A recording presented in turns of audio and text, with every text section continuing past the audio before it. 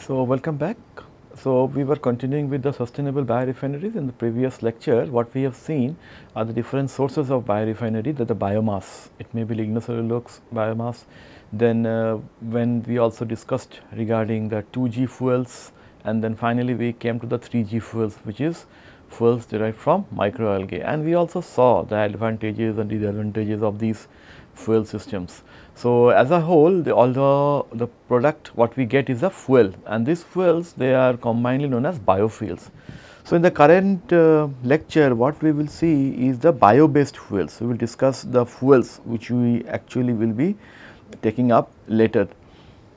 So, first we will just give a short description what are the various processes for conversion of biomass. We have discussed this in the previous lecture still I want to just take a summary of that.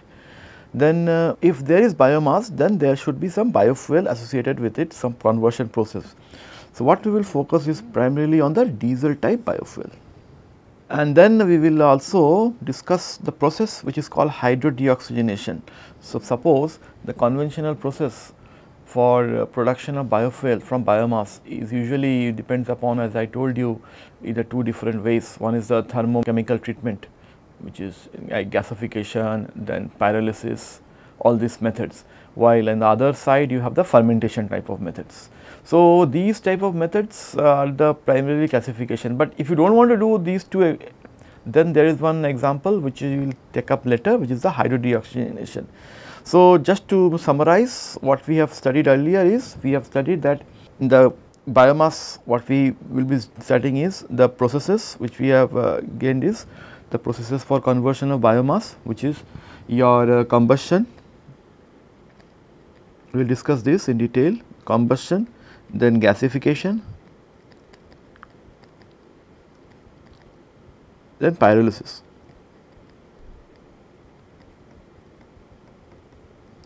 Now, these three processes are all equivalent to the thermochemical process. Okay. Thermochemical, it means somewhere heat is required. So, this pyrolysis I just want to say this pyrolysis is similar to like coking what you do in the petroleum industry okay. and uh, if you do a pyrolysis it is done at intermediate temperature you get directly oil, but that oil is not such stable. So, we will see that later this is called bio oil this is not that stable. So, but it represents similar to that of oil refinery, the diesel and petrol which we get from oil refinery. Nevertheless, we will see the later. So, all these processes whether we are taking combustion, gasification, pyrolysis, they if I want to write down we will see in the contents they are structure independent. So, it does not depend upon what sort of structure you have. Ultimately, you do gasification or you do combustion or you do pyrolysis, ultimately you will be not depend on the let us say the content of oxygen. Another part is the fermentation that is the fermentation processes. So, fermentation processes will obviously depend upon the this fermentation process will depend upon the structure. So, for example, you will require a particular enzyme for the conversion of hexoses that is 6 membered sugar to simple sugars or but you will have a different uh, structure or different yeast or different enzyme you will be requiring for the conversion of pent so, so that is the pentose or uh, 5 membered ring to sugar. So, that is it depends upon the structure of the biomass. So, let us discuss the biomass conversion routes which we have studied till date. I will just roughly go through the details. So, if I want to uh, the source is primarily this biomass we have seen. I will just whatever I have explained in the previous slide I will just bring a layout. So, you can do a pyrolysis what I said just now. You get bio oil. This is one of the product. But bio oil as I told you they are not thermally stable. Because what happens is you take the biomass you heat it in the absence of oxygen you will get a liquid part which is the oil part and you will also have a uh, tar part that is primarily coke. So, you know so, ultimately you have disposed of that coke. So, but anyway nevertheless this is a way of producing bio oil or you can directly do combustion.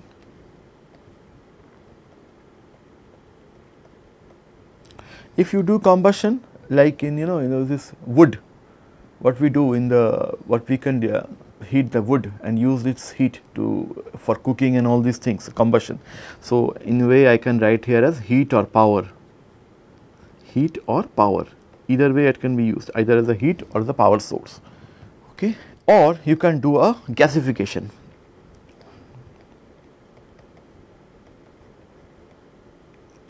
So, the gasification means you treat it with steam and convert it to primarily to syngas which we have seen that in the previous module. So, syngas are mixtures of carbon monoxide and hydrogen they can be combined to form alcohols. So, that is or the primary alcohols which you can produce is methanol for example or ethanol. So, you have those different catalysts. This is the one part or you can directly ferment it, you ferment these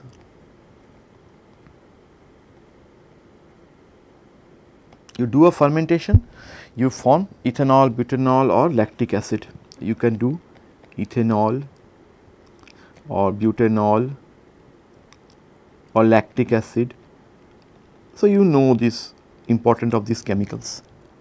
So, that is why I have said that it depends upon the structure of the biomass because you will have to use a particular enzyme for the fermentation to produce either ethanol or butanol or lactic acid. Or then another method is you can also do a direct extraction. Now, this is another important uh, method. So, if you see a biomass, there are many biomass which in the tree there is a liquid like substance or waxy like substance. So, these wax like substance if they are processed, these are called as terpenes. For example, you have natural rubber isoprene that is a one sort of terpene. So, these uh, compounds they will be have a structure of C5H8 to the power of n, n can be any number greater than 1. So, for example, this one uh, you have the structure of natural rubber isoprene. So, you have CH3 here, you have a double bond here and you have the polymer matrix in this manner. This is called terpenes extraction. Then if you do not want to go to this then is the hydrolysis part. What does this hydrolysis mean? It means we are separating the cellulosic and hemicellulosic component from the lignin. Cellulose is very easy to separate. So, it can be done very easily to convert it back to sugar, but so what happens in cellulose or whether it is hemicellulose, there are lot of rings which are attached. In um, cellulose, it is usually a 6 membered ring, while in uh, hemicellulose, it is a 5 membered ring. 5 membered rings are very difficult to convert, while 6 membered rings are easily convertible to simple sugars. So, then what we can do, we can uh, either convert them to, one of the way they do is, you can also convert it to amino acids. And from the amino acids you can consider two different compounds such as ethanolamine or alkanolamine ethanolamine. Or you have butanediol okay? Or you can uh, do the steps which I just now told. You convert them to aqueous sugars. Now when you aqueous sugars means I am telling it is either hemicellulose or cellulose. So that you can convert it to simple sugars such as sorbitol or let us say xylitol. Okay or uh, HMF. We will see HMF later in the next lecture the importance of this chemical. Sorbitol you know it is found in our human body it has a structure it has number of OH groups basically. So, if I want to write down although I am not able to draw it the correct structure because it is 3 dimensional. So, you have OH here then you have uh, OH here. So, OH here. So, it is alternative OH bonds OH here then OH here finally you have another OH here. Such type of structures they are known as sorbitol which is present in our human body. So, this is the overall way how the biomass is treated. So, you have the biomass at the center, you can have any of these routes. So, all the R&D research and developments are carried out in these all the routes together. These routes gasification is actually the source of fuel while the lower part is actually the source of again fuel, but through fermentation route. For example, if you want to see the biochemical production of ethanol, so we will see the biochemical production of ethanol now. So, what you do is uh, usually you have bioethanol and biobutanol. Biobutanol is what they say is much easier to blend with gasoline as compared to bioethanol and uh, the process is bit the fuel itself is non-corrosive while ethanol is corrosive. So, it, nevertheless the process which I have already discussed just want to repeat it. So, you have the lignocellulose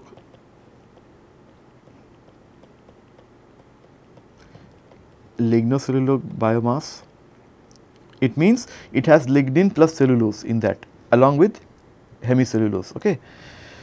So, now you have the pre-treatment, pre you do a pre-treatment of it, then what you do when you do a pre-treatment you have one part you will have cellulose and lignin. So, lignin I have written down because it is a solid component, cellulose is the liquid component. Then what you do, do a hydrolysis. You do a hydrolysis with enzymes.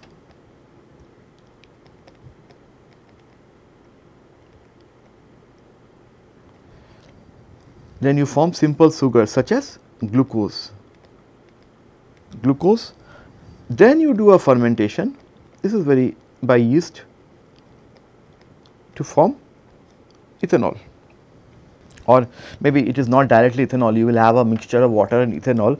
So, I will say that it is beer or or it's a mixture of ethanol and water. You do the distillation then you do distillation you get ethanol. This is the way the biochemical way it occurs. Okay. Now another way it can be the what you do with the hemicellulose you need to have a different enzyme. So, in the hemicellulose when you do a pretreatment the hemicellulose and cellulose are separated usually they are done in the acidic environment. Then what you do this hemicellulose for example one of the reason one of them hemicellulose can be xylose. So, you either you can use a catalytic conversion catalyst processes you do a catalyst process and you product produce some chemicals like benzene, toluene, xylene. Okay. Else you go ahead, I write here I mean so or so I will make another line here or you do a fermentation again with this you can get ethanol.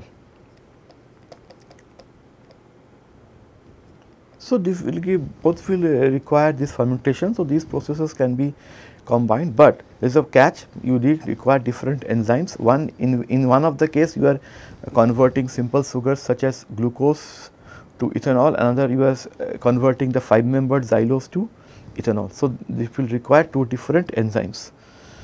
Then what to do with the lignin which is coming here. So, so here you have lignin coming out in large amount because that is the solid component.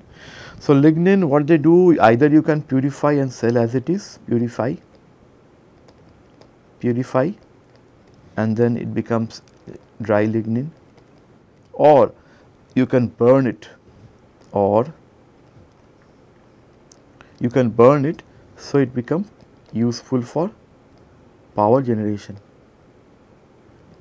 So, all of them are used whether it is direct fuel or so it can either generate heat or electricity, heat or electricity. I will take this unit of the separation from fermentation later on this particular okay from the this fermentation unit to ethanol because this is not a normal distillation because at 96 percent and around 350 Kelvin 96 percent of ethanol and water. So, if you have a composition of ethanol plus water and at a temperature of this the ethanol and water will become a azeotrope and this azeotrope that is what require a azeotropic distillation unit. So, I will take this up later. So, just to keep in mind this is the basically the biochemical production of ethanol. So, 75 percent of this ethanol the source is from the food crop nowadays. So, that is I know it is a challenging part because we are competing with food crops. Moving ahead. So, that is why this now we have seen bioethanol. Now we go to biodiesel. This is another source of fuel. So biodiesel also known as bioethanol, often known as bioethanol, is a blend of methyl and ethyl esters of fatty acids. So in short they are called as fatty acid methyl ester or fatty acid ethyl esters. Diesel biodiesel blends have a higher oxygen concentration due to the ester group they burn more efficiently than regular diesel made from fossil fuels. So, what are the source of this biodiesel? Vegetable oil are the source and low molecular weight alcohol such as methanol, ethanol. Either it can be vegetable oil or low molecular weight alcohol such as ethanol or methanol. So, they will undergo transesterification to create biodiesel. Rapeseed oil, soybean oil and sunflower oil are the three most widely used vegetable oils in Europe. While in Malaysia and Thailand they use palmitic oil or palm oil for biodiesel manufacturing. Now, the palm oil is having a long fatty chain with a double bond in between. So, it helps in the transesterification process. Now, the issue is we may uh, say that uh, we should have exactly the similar concentration like the fuel which we obtain from oil refinery, but sometimes oxygen content in biomass type of compound may be useful beneficial because this biomass if it has more oxygen when it does combustion it is clean causes less smoke and no mass is also lost. So, it may not be a disadvantage to have oxygen in the fuel and it may also have uh, more of the branched nature the biomass. So, in a way we may have we may overcome some of the disadvantages of the oil refinery of oil. So, that you do not require further separation because in the oil refinery if you remember you have this heteroatom you need to separate them you need to do some process hydroprocessing. But in this case since it already have oxygen and we want the combustion to occur with oxygen. So, you do not require those processing steps. So, require less of the investment in the case of biorefinery.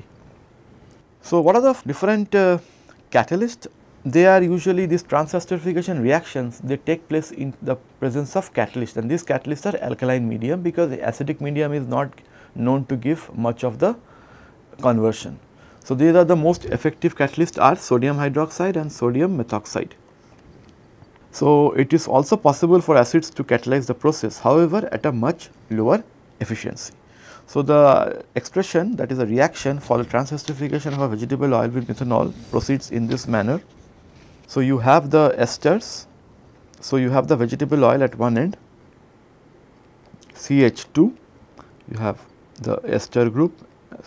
CO, this is an alkyl group R1 then CH O. It should be a double bond. CH2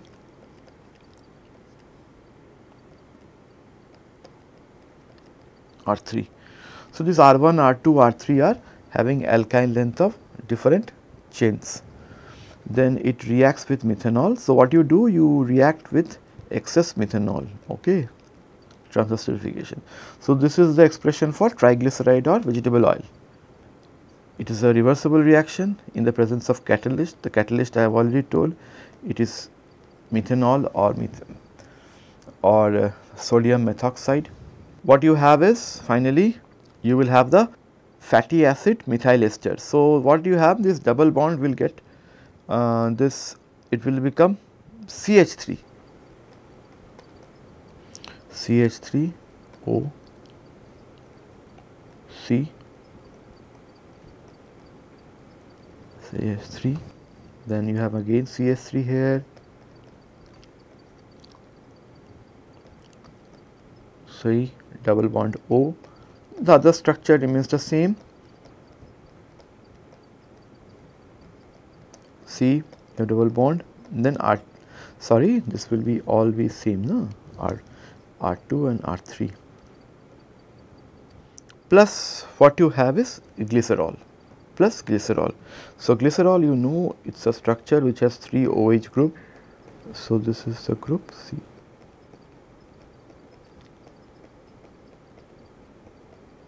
Okay. So, what you have is this is for example FAME fatty acid methyl ester okay and this is your glycerol and this is your vegetable oil or triglycerides whichever way is the chemical structure for vegetable oil. So, vegetable oil when reacts with methanol, excess methanol I would say in the presence of alkaline catalyst, it will be converted to fatty acid methyl ester and glycerol. So, so moving ahead, but it is not so easy because this reaction actually suffers from two drawbacks. Uh, one two drawbacks is the content of water and the content of there is a part called as free fatty acids. Not all fatty acid will be linked with the vegetable oil. There may be also in a vegetable oil you may have free fatty acids. So, this free fatty acid they may convert to soap which is not at all good. So, we will see how to overcome that. So, it is typical for oils and fats to contain modest quantities of water that's and free fatty acid. These are also sometimes called as FFA, free fatty acids. FFA. So, it is just a organic acid with a long alkyl chain length with a COOH group that is called free fatty acid. So, these are not connected to the glycerol backbone and cause adverse effects. As a result of the reaction between the free fatty acid, so it is given by this RCOOH and the alkaline catalyst, if they react, they will produce soap.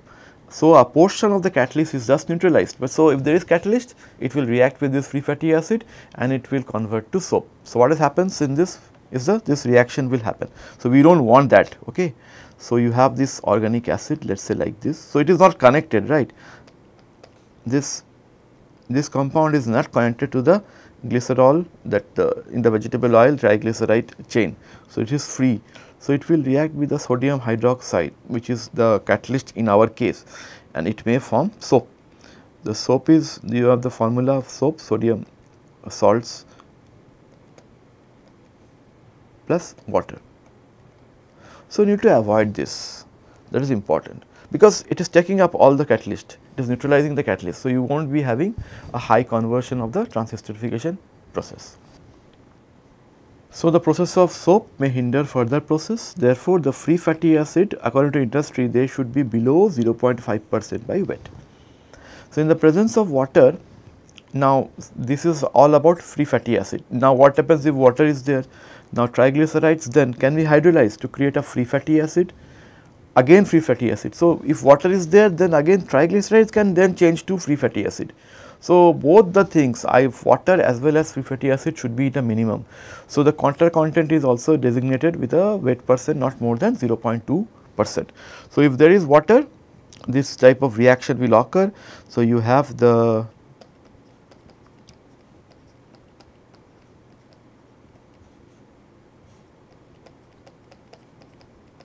So, you have the triglyceride or the vegetable oil as before.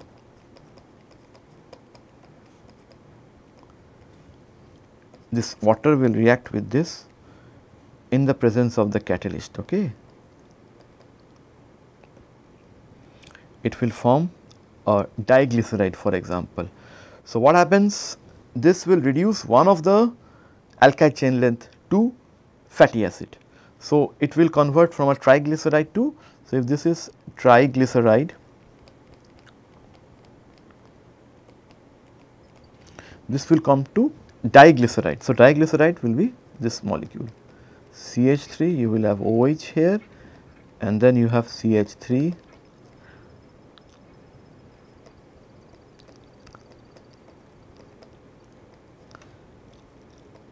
CH3 O then C. Okay this is diglyceride.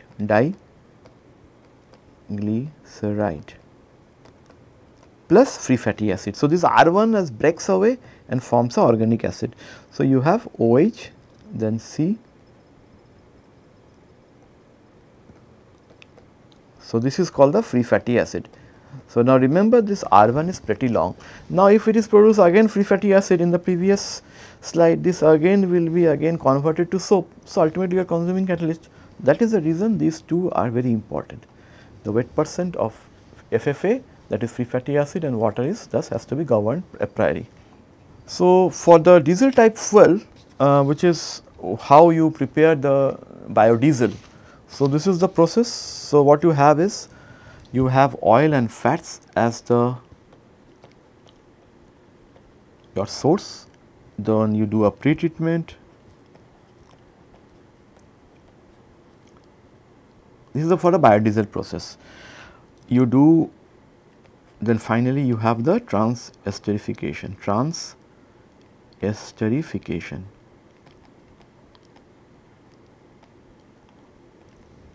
Then what you have after trans esterification you will have a uh, phase separation because you will have ethanol, uh, you will have something which is a diesel component that is same, it will be lighter as compared to glycerol. Okay. So, what you do? You do a phase separation by density after the reaction.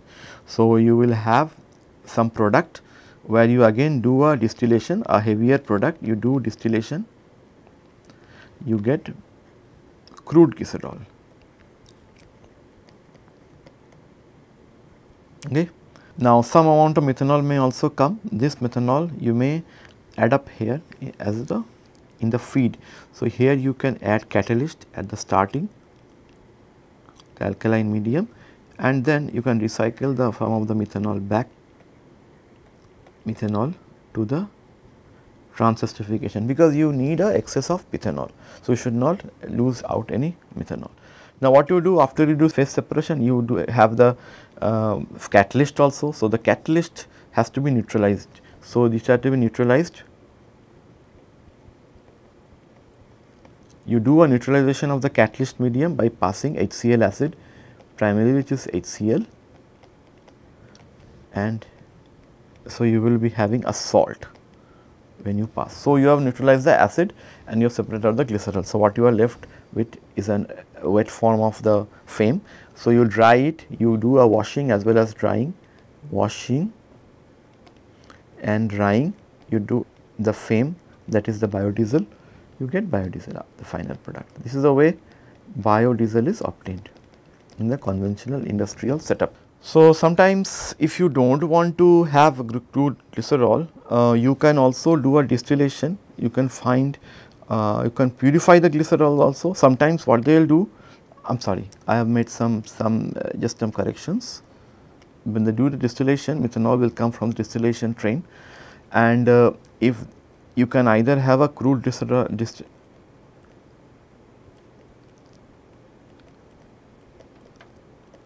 glycerol coming which you can just burn off. But ultimately burning off is not a solution because we are wasting the energy or if you want to reuse it what you do is a glycerol purification, you do a glycerol purification. So, you get a refined glycerol.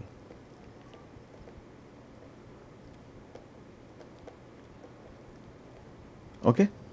So, this is the way the entire process stream for biodiesel works. So, finally, this biodiesel is nothing but a mixture of FAME or FAE fatty acid methyl ester or ethyl fatty acid ethyl esters.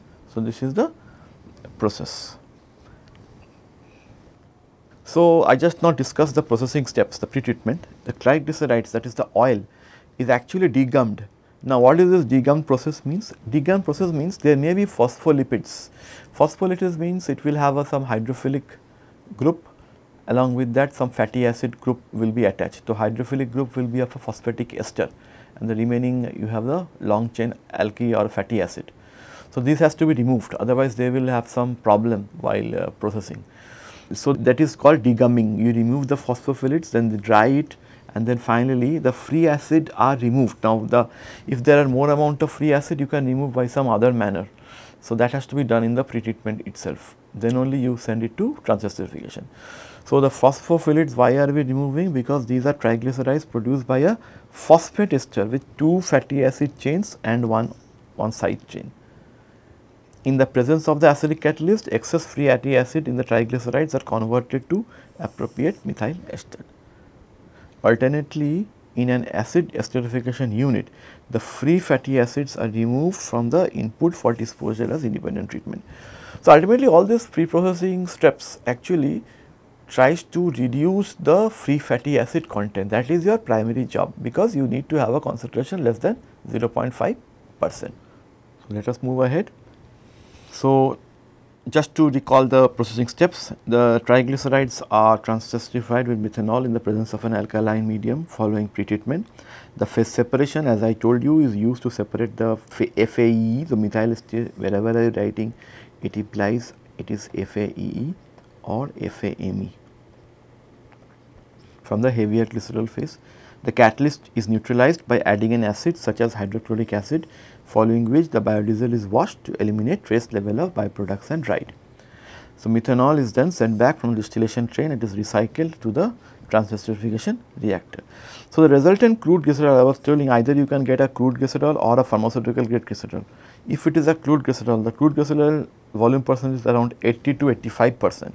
They can be utilized as it is or further purified using chemical treatment, evaporation, distillation. So, the treatment the glycerol purification consists of chemical treatment, evaporation, distillation and then bleaching to produce glycerol of pharmaceutical quality which is greater than 99.5 volume percent. So, what are the disadvantages? So, there is some disadvantages transesterification. These are it is energy intensive. So, you require a lot of energy in the pretreatment and then some energy for the recovery and the distillation train. The recovery is the critical because recovery of the glycerol as a byproduct is difficult and uh, you are neutralizing the acid. So, if you want to neutralize the acid you will produce salts which are waste. So, it has a large amount of waste salts so that should be somehow be minimized. So, now uh, due to these disadvantages of chemical transesterification, new technologies such as catalyst free approach based on supercritical methanol and enzyme based techniques have been proposed. For example, the enzyme based technique lipases are capable of catalyzing the transesterification of triglycerides in both aqueous as well as non-aqueous environment. So, the enzymatic processes surpass the traditional process such as glycerol so, what are the advantages for enzymatic process? It has first I would write air, the glycerol can be removed quickly and the free fatty acid if there are. So, if you have a feed content which has more amount of free fatty acid, it can be entirely converted to alkyl esters. This is the second advantage. So, making the process excellent for treating inexpensive waste fats and oil. So, that is why you go with lipase based technology but it has disadvantages such as the production cost of the lipase. The catalyst production cost is considerably higher than that of a normal alkaline catalyst such as sodium hydroxide or sodium methoxide. Further, the catalyst separation still is a different, a difficult step I would say both in lipase or in the traditional method. So, if I want to compare both the processes that is the alkaline process and the lipase based process, what I get is I can compare all this based on the reaction temperature.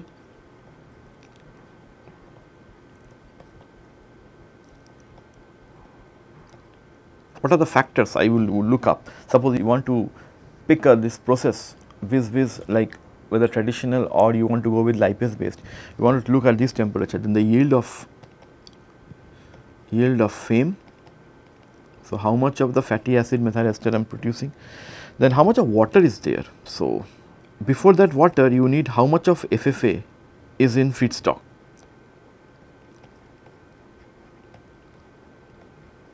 Okay. Then uh, water, can it water in feedstock? Can it handle water in feedstock? Then how is the process of recovery of glycerol easy or difficult? Purification process.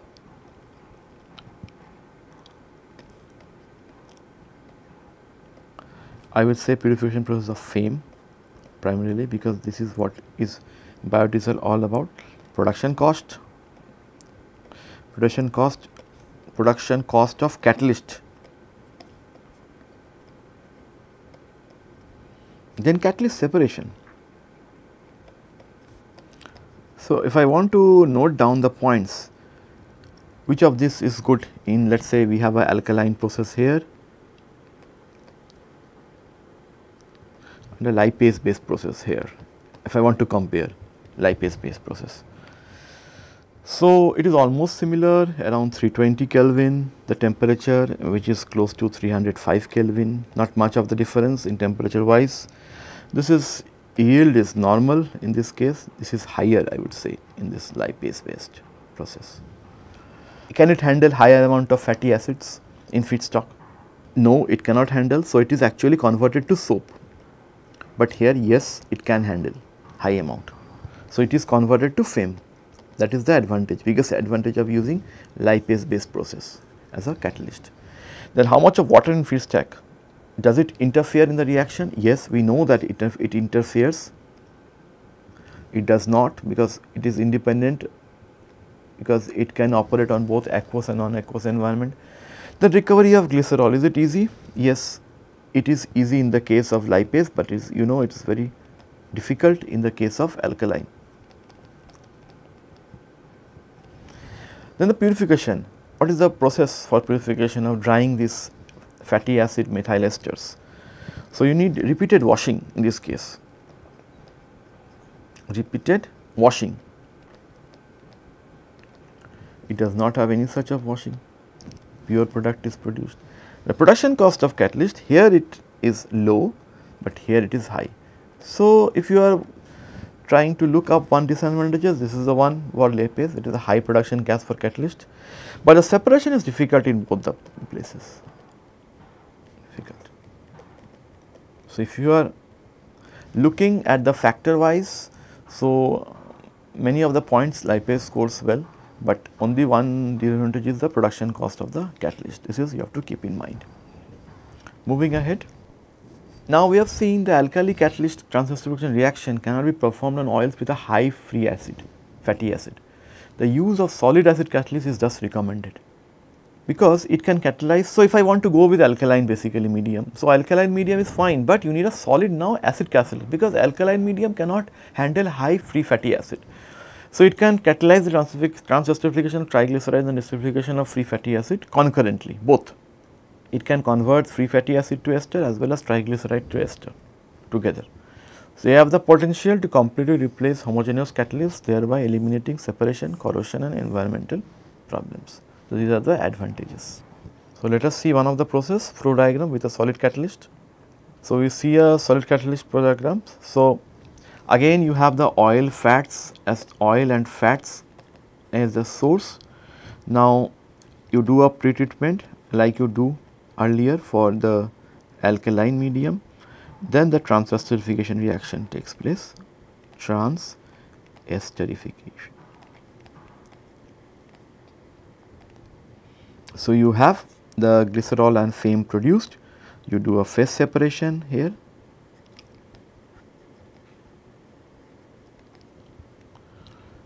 Then you go to distillation, you distill the heavier product.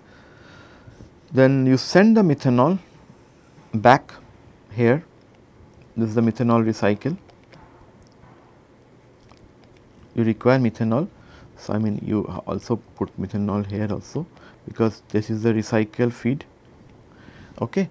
So, you do a phase separation then if you remember there were several steps after phase separation drying, washing all this that is I mean less because it has not much corrosive. So, you do directly a purification. and you get biodiesel.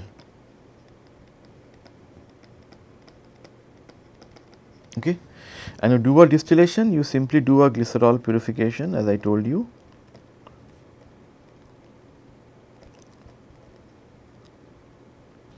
And you get the refined glycerol.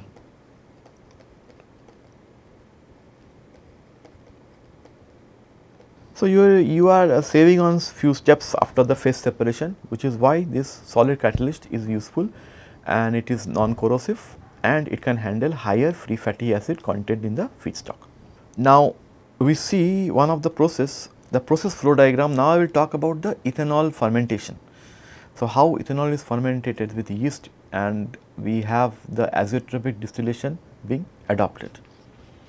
So, what they do the essentially the reaction is something like this. You have a C6H12O6, it uh, actually converts to 2 moles of ethanol and carbon dioxide. This is the reaction. Is it balanced? Let us see, it is 4, 6, yes, it is balanced. So, it this takes place in the presence of yeast. So, So, this is the overall reaction. So, in this what you have you have uh, 5 or 6 units. The first unit is the fermentation. So, what you do is in this particular first unit you mix the let us say I want to produce ethanol from biomass such as molasses. You send molasses here and you send uh, the acid you in this molasses you require the acidic environment and uh, ammonium salt.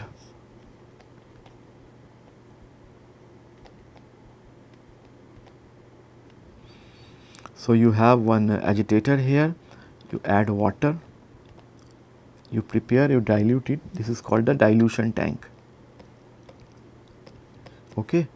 So, you prepare the entire mixture and in the other which is the fermenter, you send this to a fermenter, in the fermenter you send the yeast. This is where this reaction occurs when you have a yeast what you do the compound which is coming out you separate in a rotary filter. So, this yeast is separated and the remaining solution goes to a flash unit. So, this is goes to a flash unit. So, what you do you separate out the gases that is the carbon dioxide you vent it and the remaining liquid you send it for further processing. Now, the issue is this yeast is separated because uh, if you have the yeast uh, going inside it tends to decompose if the concentration of ethanol is more than 12 to 15 percent. So, it is works best around 12 to 15 percent of concentration of ethanol. So, you need to take this out. This yeast can be used for a cattle feed. So, now what you do you take the liquid you do a flash. So, this is the fermentation unit and you send it separate the liquid part and you send the liquid to a beer distillation unit. The beer distillation unit has a stripper and rectifier. So, this is the stripper let us say. So, it is a staged column. So, you have a staged column here. So, this is the residue the residue is an additive for animal feed. So, this residue for it can be used as animal feed. So, this is your rectifier. So, what you have at the top is close to 50 percent ethanol water mixture plus water and some other products such as acetaldehyde that is CH3CHO as the byproduct. Okay. So, what you do is you then send this to the what you call is the rectifier. One is the stripper, another is the rectifier. So, in the rectifier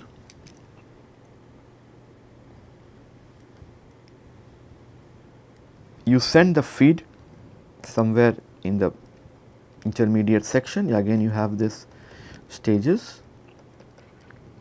so, you take out fusel oil somewhere in the bottom part. These fusel oil are nothing but uh, higher alcohols. Okay. There may be some higher alcohols also getting produced because of the fermentation reaction. You need to take it out. Then uh, what you do? You send the light ends from the top through a vent and you vent out the gas, the light ends. Okay. Take out the light ends from here.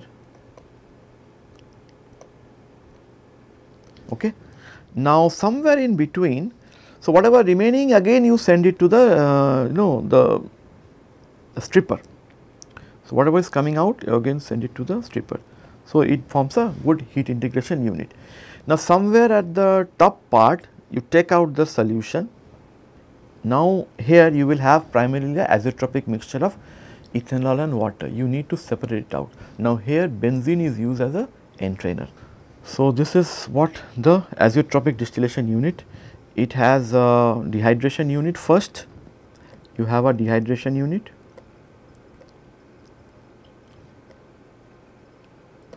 And a benzene stripper.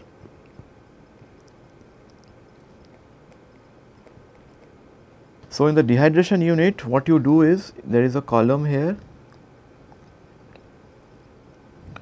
Again it is a stage column because of the azeotropic distillation at the bottom finally you get the dry or uh, fuel grade ethanol because of the azeotropic distillation fuel grade ethanol. Okay?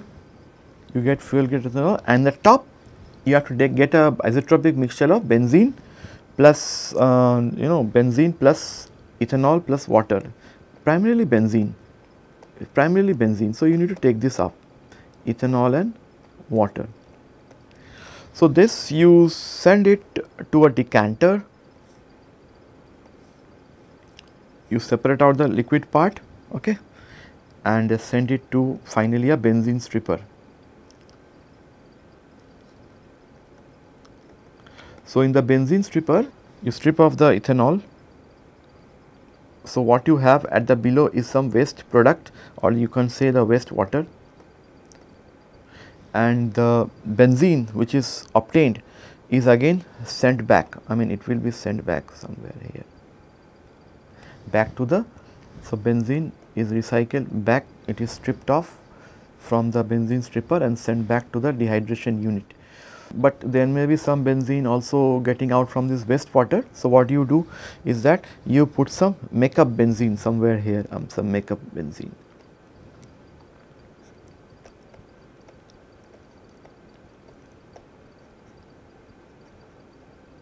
Okay. So, this is the entire process how it works. So, you have a fermenter to the left side and then in between you have a rectifier and so, you have this entire thing is called beer distillation unit these two columns. Initially you have this a stripper and then a rectifier, a stripper and rectifier and after the rectifier it goes to the azeotropic distillation unit where you have a dehydration unit and a benzene stripper. So, in this actually the distillation occurs and you get fuel grade ethanol at one end and the azeotropic mixture of benzene primarily benzene at the top end.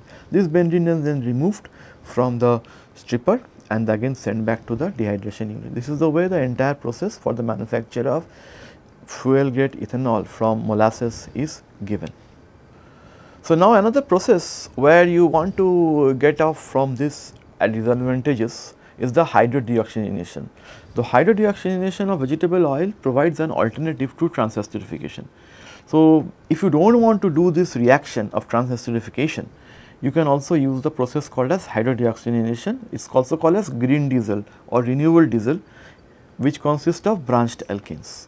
The chemical structure of the green diesel molecule is identical to that of conventional diesel molecules. The co-products are propane and naphtha whereas byproducts include carbon oxides and water. In the catalytic reactor what happens is vegetable oil is mixed with fresh feed so, it is mixed with fresh and recycled hydrogen and turned into branched alkane rich diesel fuel. So, let us see the process for this. So, water and carbon dioxide produced by the deoxygenation reactions are separated from the hydrocarbon product that has been completely deoxygenated. So, the deoxygenated liquid product is then fractionated in order to remove the minute amount of liquid fuel byproducts. The excess hydrogen is again captured and returned to the reactor for recycling one of the most important economic advantages of HDO approach is that bio-based feedstocks may be processed at refineries with existing equipment, hence minimizing capital expenditure. So, you may operate this hydrodeoxygenation unit in the refinery itself. So, that is what is been patented by UOP or Ecofining that the process, the company which has licensed this. Let us see the flow sheet of this. So, what happens is you have a let us say uh, a central part is the reactor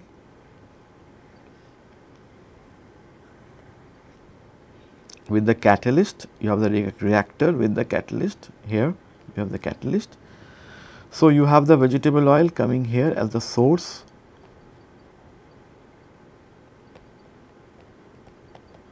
Oil as the source. And uh, what you have is so the reaction occurring. And you separate you decant decant the water.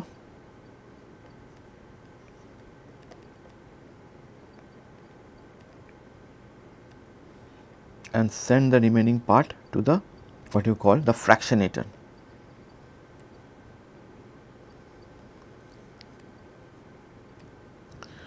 The fractionator is again it is a tray type structure. So, ultimately what you do it is a, like a distillation column you separate out the components. So, the co-products as I told you it is propane and light ends.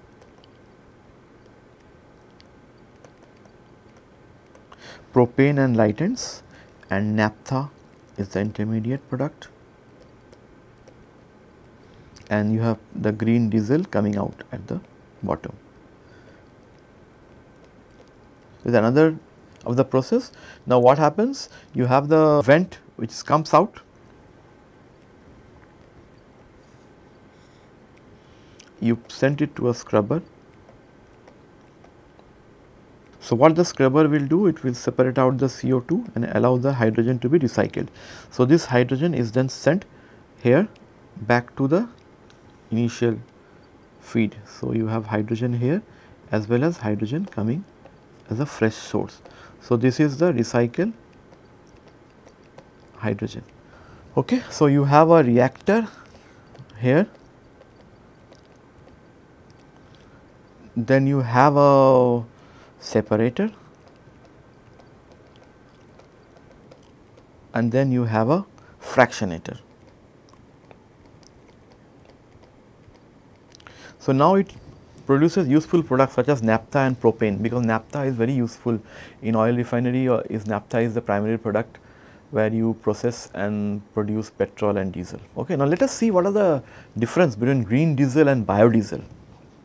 So, green diesel what I can do is I can compare the oxygen content O2 then the sulfur in ppm. What are the fact I should then the heating value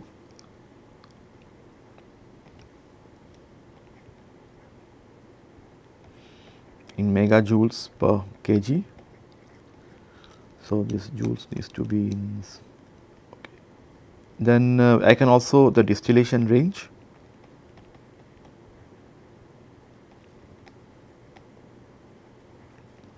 And cetane number this is very important because it will tell the anti-knocking characteristics.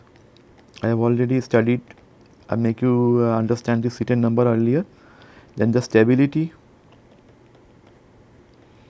And finally how much of CO2 is emitted CO2 emissions. That is very important for any of the fuel. This will give an kg per millijoule of megajoule of energy formed. So, if I want to there will be three sources let us normal oil then you have the biodiesel Then you have green diesel from UOP. So, this so let us compare three processes. O2 wet percent is 0, is almost 0. Biodiesel because you have the biomass because it is 11 wet percent. So, this is I will say it is in wet percent. Okay. Then green diesel is also again 0. So, oil and green diesel are similar Sulfur content you know oil has sulfur component but it is less than 10 because it is processed. So, this oil means oil based fuels I am talking about but here biodiesel it is nothing it is less than 1 again here it also less than 1.